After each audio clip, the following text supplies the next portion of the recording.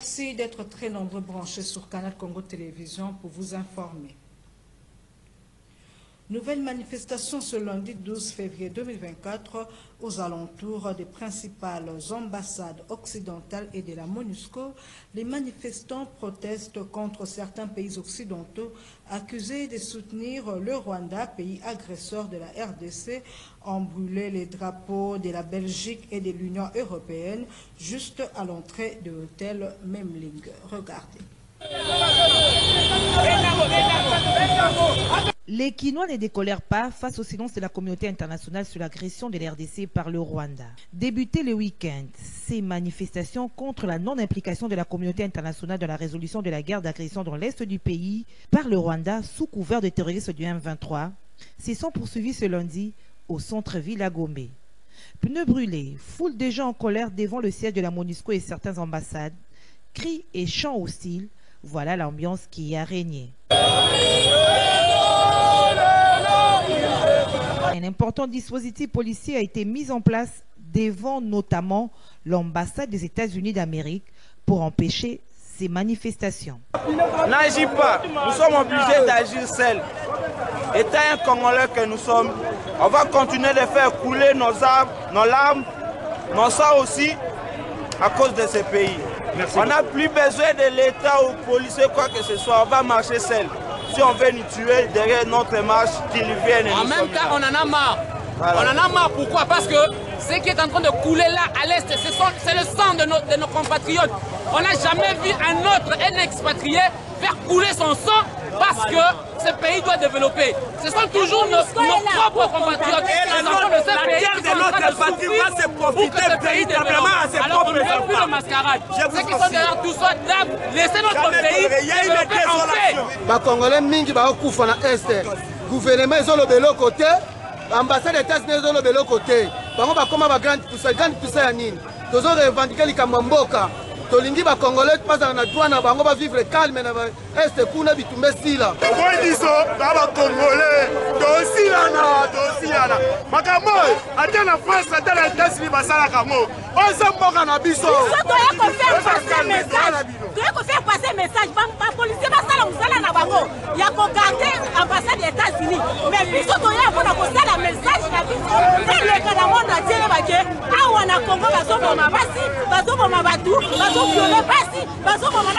Notez que plusieurs maisons de commerce de la ville n'ont pas ouvert leurs portes par crainte de troubles. Cette journée de lundi 12 février 2024 a été marquée également par la fermeture de plusieurs écoles et universités consulaires de Kinshasa en raison des appels à manifester la veille contre la non-implication de la communauté internationale dans la résolution de la guerre d'agression dans l'est du pays.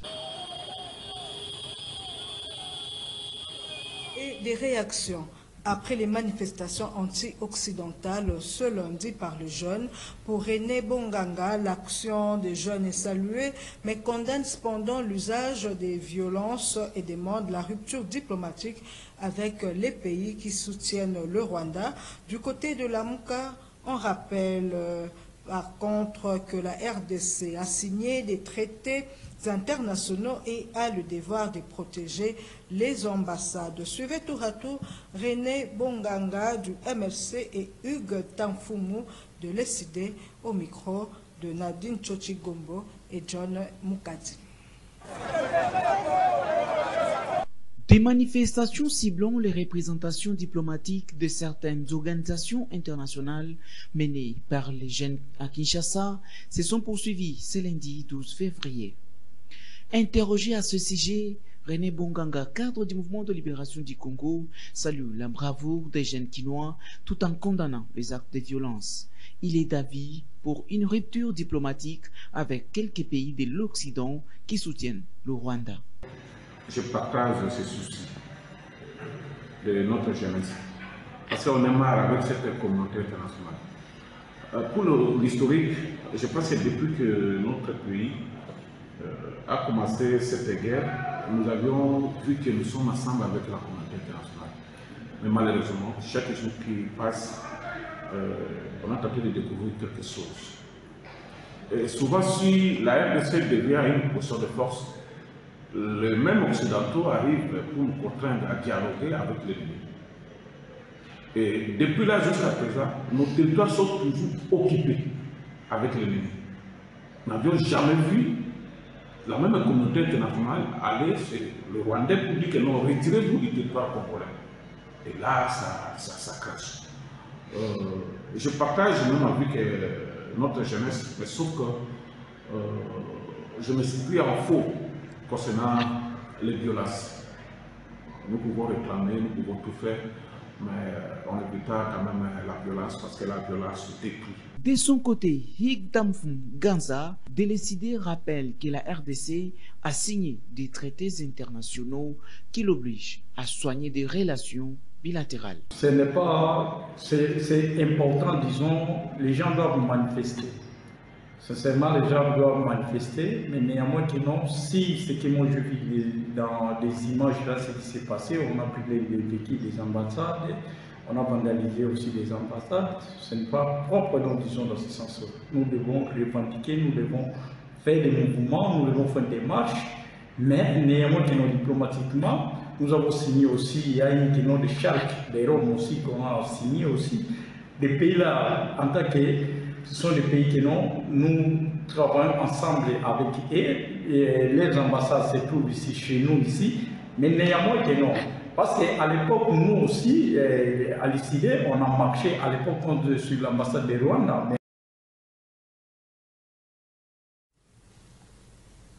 Et puis les magasins et boutiques sont restés fermés à la suite de cette manifestation contre les représentations diplomatiques approchées à cet effet. Quelques Quinois restent optimistes quant au retour de la paix à l'est du pays. Junior Bolafa a recueilli leurs avis. Les activités ont été paralysées ce lundi 12 février dans la capitale Kinshasa. La plupart de magasins, boutiques et autres situés le long du boulevard du 30 juin sont restés fermés depuis ce matin suite aux manifestations menées par de jeunes contre les représentations diplomatiques qu'ils accusent de soutenir le Rwanda de Paul Kagame qui agresse la RDC. Interrogé à cet effet, quelques Quinois restent optimistes quant au rétablissement de la paix dans ces coins du pays à travers ces actions. En tant que Congolais, je ne peux pas condamner directement mes frères qui sont en train de se manifester contre les actes d'atrocité que commettent les voyous de M23 ensemble avec M. Kagame et le Rwanda. Mon cher ami, le Dieu le Père, quand il a fait le partage des richesses partout dans le monde, aucun Congolais avait imposé à notre Dieu de pouvoir nous donner ce que nous avons. Le mal du Congo, parce que nous avons nos minéraux. Et le cobalt qui produit des batteries, des téléphones, Dieu nous les a donnés en grande quantité. Vu que nous l'avons, nous, en avons, il faut que ceux-là qui en ont besoin puissent venir collaborer avec notre gouvernement, faire un partenariat gagnant-gagnant. Ces gens-là, des bandits, des sanguinaires, ne veulent pas faire ça et veulent venir d'une manière mafieuse et commencer à verser les sang des Congolais. Bon, mabe te. Namoni yango mabe te eza kaka mpo na biso moko babienfait na biso moko bacongolais mpo makambo oyo eza kokei mabe. Omoni lelo ava solution ezwama esenga biso mo pepe congolais tozwa solution. Bato oyo bazokufa kuna na goma na este de pays. Eza bandeko na biso bacongolais eza bato misusu te. Siko makambo oyo mpo ebonga brazzaville akoya te na mboka na biso aya korevendike asala marche na compte na biso. Esengaka biso moko bapetit peuple congolais tosala. Mpo so tolandeli yango totalaka mokonzi moko ta koya aya kosala makambo oyo. Mpo tolembi. Mokonzi ya mboka boyi mobulu. Mais ça fait 30 ans nos frères et sœurs bazokufa na este ozo comprendre soki bamagasi oyo kokangama de mois ekangama mpo na nini? Bana toza na bana na este toza na bandeko toza na babeau frère il faut totelemela yango ntina suka. Ozo comprendre. Soki tokosala ke makambo oyo traoré azosala ezosalama na mali toloba non na baoccidentaux si ça n'engage pas le gouvernement nous le peuple on va le faire. Et justement, par rapport à ces manifestations, le vice-premier ministre, ministre de l'Intérieur, Sécurité et Affaires coutumières, Peter Kazadi a réuni autour de lui le ministre des Médias ainsi que les services de sécurité afin de s'imprégner de la situation. Peter Kazadi a appelé la population au calme et annonce le renforcement de la sécurité pour éviter que l'ennemi ne profite de ces incidents. Regardez. La République fait constater que ce qui s'est passé aujourd'hui, quand bien même que nous comprenons euh, certaines frustrations de nos compatriotes par rapport à ce qui se passe à l'est du pays, mais la manière dont les manifestants ont procédé viole plusieurs dispositions du droit international. Nous tenons donc à rappeler que les installations des diplomates étrangers, du personnel de la MONUSCO sont inviolables. Le gouvernement de la République ne peut pas accepter que nos citoyens s'attaquent à ce corps qui est bien protégé par les droits internationaux. Nous pensons que toute personne qui veut manifester est libre de le faire, mais dans le respect des règlements et des lois de la République. Nous avons un régime sur les manifestations. Chaque fois que quelqu'un veut manifester, il adresse une correspondance à l'autorité compétente. On autorise et la police sera derrière pour encadrer, ce que nous n'avons pas constaté aujourd'hui. Nous demandons donc à notre population de se calmer parce que le gouvernement de la République est conscient de ce qui se passe à l'est du pays. Le front se trouve à l'est, l'ennemi est à l'est. Nous devons consacrer notre énergie à attaquer cet ennemi, les combattre ensemble et nous sommes convaincus que nous allons les renvoyer d'où il est venu. Il ne sert donc à rien d'entretenir une tension dans la capitale de notre pays. Plénière de validation des pouvoirs des députés provisoirement élus ce lundi 12 février 2024 à l'Assemblée nationale. À cet effet, les députés nationaux se sont retrouvés à la salle du Congrès du Palais du Peuple pour Christophe Mbosso Kodiampuanga, président du bureau d'âge de l'Assemblée nationale, il était question d'examiner les dossiers des élus issus des élections législatives du 20 décembre 2023. Suivez. Les députés nationaux se sont retrouvés dans la salle du Congrès du Palais du Peuple pour la plénière des validations des pouvoirs des députés provisoirement élus. Et c'est la province par province. Pour Christophe Mbosso Kodiampuanga, président du bureau provisoire de l'Assemblée nationale, il était question d'examiner les dossiers des élus issus des élections législatives du 20 décembre 2023. Ces points devraient donc être examinés à la lumière des rapports respectifs élaborés par les 26 commissions provinciales spéciales après vérification de l'article 121 de la loi orale. Bien auparavant, le bureau avait félicité les élus de toutes les provinces d'être acquittés du trailer confié dans le délai imparti. Il espère que cet élan poursuivra tout au long de cette session extraordinaire, notamment au moment de l'élaboration et de l'adoption du règlement intérieur de la Chambre basse. S'agissant des missions assignées aux commissions spéciales, la plénière considère que la CENI avait arrêté les listes des candidats aux élections après avoir jugé leur dossier conforme aux exigences de la commission et de la loi électorale. Il en découle logiquement l'absence de quelques pièces dont certains dossiers ne seraient pas dus à leur transmission par la CENI. Par conséquent, cette responsabilité ne peut être imputée aux élus ni faire l'objet d'un quelconque contentieux électoral au niveau des commissions spéciales ni de la plénière. À son tour, le secrétaire rapporteur de la commission spéciale donne uniquement lecture des conclusions afin que l'Assemblée plénière se prononce sur l'approbation et la validité du pouvoir des élus concernés.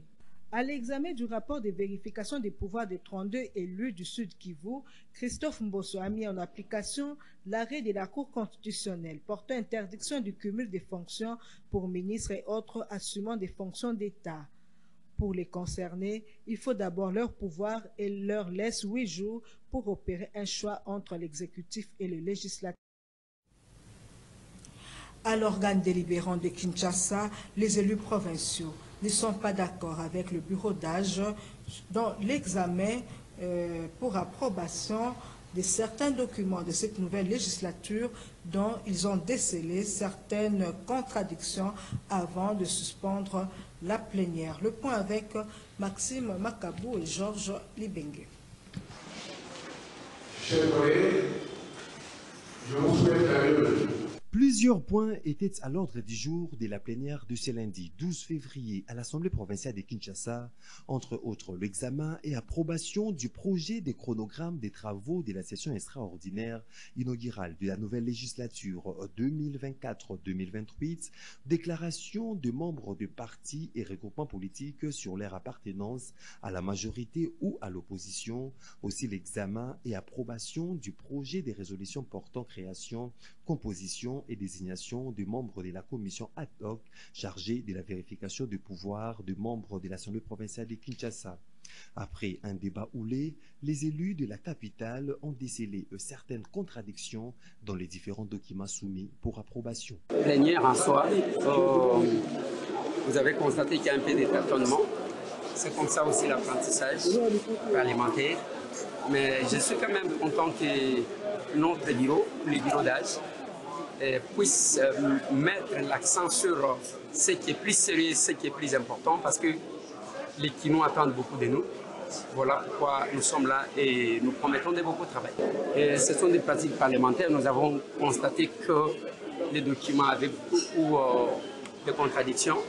Et comme la voie démocratique, c'est la voie de la majorité, nous sommes intervenus pour demander à ce que nous puissions suspendre la plénière afin de retravailler sur les documents. Il était de mon devoir de venir non seulement participer à la plénière, la deuxième de la session, mais aussi me faire identifier par les différents services parce que nous sommes engagés à servir la population de. Donc c'était une impression de, de, joie de retrouver ces salles que nous voyons des Noirs, mais aussi de faire la connaissance d'autres élus de Kinshasa parce que c'est avec eux que nous allons collectivement nous mettre ensemble pour relever les défis de cette ville-province que nous chérissons. Notez que suite au désaccord entre le bureau d'âge et les élus de la capitale sur l'examen de différents documents, la plénière a été suspendue. Puis une baleinière a fait naufrage dimanche sur le fleuve Congo à la hauteur de Maluku dans la périphérie de Kinshasa. Aucun bilan officiel n'est jusque-là présenté. Suivez plutôt ces images prises par un amateur.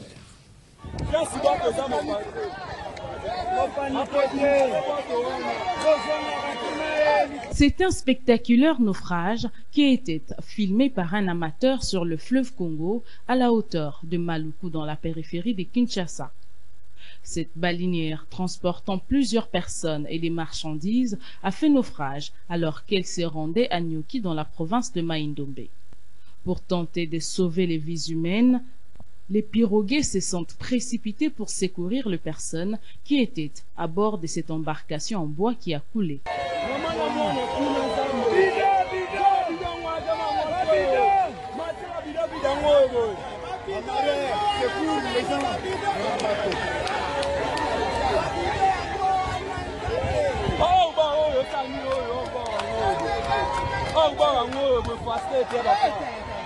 Comment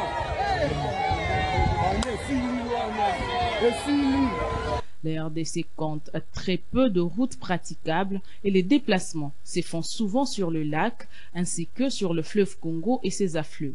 Les naufrages sont fréquents et les bilans souvent lourds, mais en l'absence de manifestes fiables de passagers, impossible à établir avec précision. Les embarcations ne respectent pas toujours le tonnage requis et ses unités. Les transports fluviales sont généralement bondés des passagers et des marchandises. La lutte contre le phénomène Kuluna demeure le cheval de bataille de l'inspecteur provincial de la police ville de Kinshasa. Quelques centaines des inciviques tombés au filet des hommes du général Blaise Kilimbalimba ont été présentés ce lundi 12 février à l'inspection provinciale de la police dans la commune de Lagombe. Fistongale signe ce reportage. C'est une guerre sans merci que mène ces derniers temps l'inspection provinciale de la police ville-province de Kinshasa aux inciviques communément appelés Kuluna qui mettent en péril la quiétude des Quinois et Quinois. Et les résultats ne tardent pas à venir. Ce lundi 12 février, quelques centaines de ces malfrats ont été officiellement présentés à l'inspection provinciale de la police ville-province de Kinshasa. Pour l'inspecteur provincial de la police, le général des brigades Blaise Kilimbalimba, la lutte contre les phénomènes Corona se poursuivra. parce que toza na fichier. Toyebi nyonso. Mpe boza komona yango ovandi bolali 5 heures 6 heures bouclage tokangi yo so lelo tokotia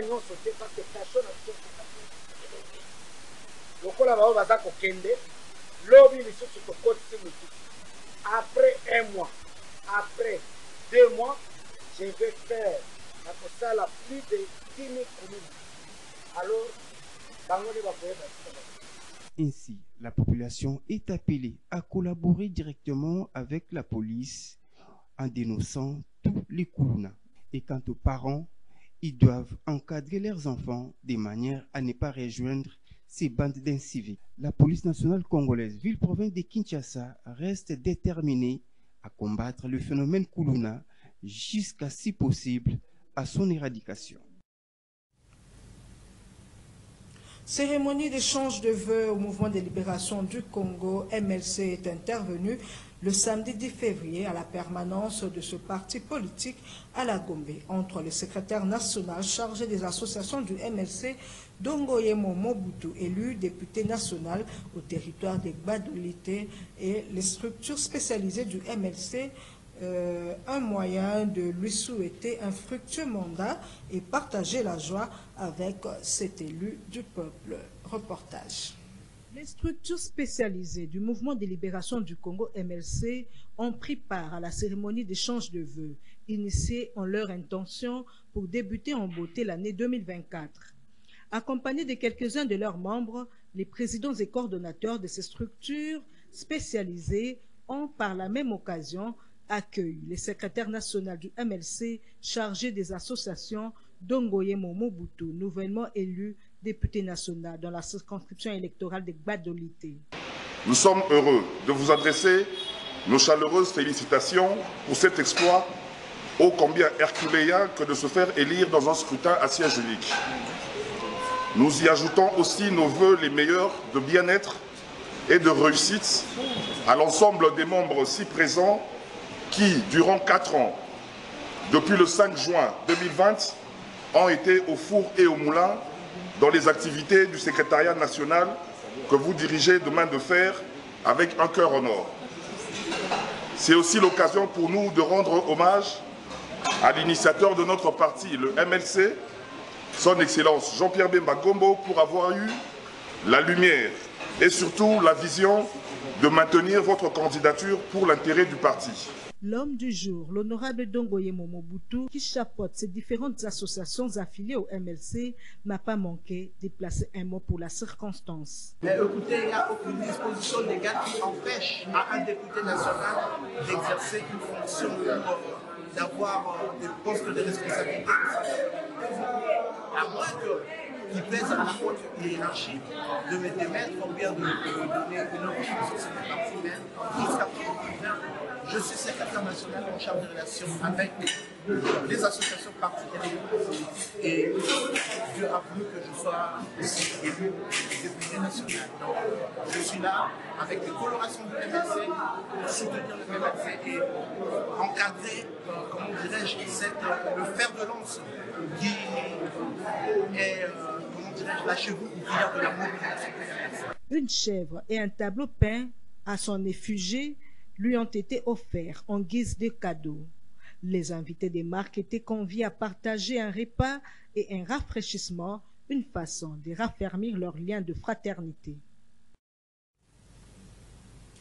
Fin de ce journal télévisé sur Canal Congo Télévision. Merci de votre attention soutenue.